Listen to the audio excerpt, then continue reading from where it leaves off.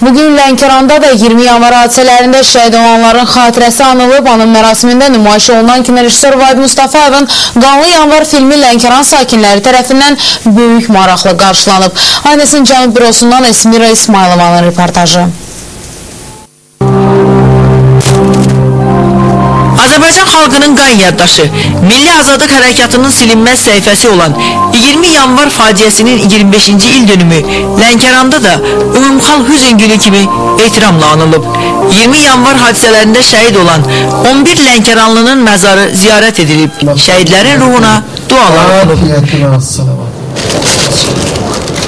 Ziyarətçilər arasında rayon ictimaiyyətinin bütün təbəqələrinin təmsilçiləri olub.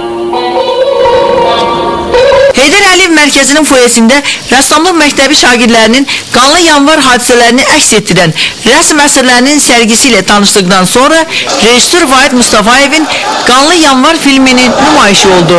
Rayon rəsmiləri, ziyalılar, ictimaiyyətin bütün təbəqələrinin təmsilçiləri 25 il öncə baş verən hadisələrin real əksi olan filmi dərin maraq və həyəcanla izlədi. 20 yanvar filmi doğrudan da bizə çox dərin təsir bağışladı.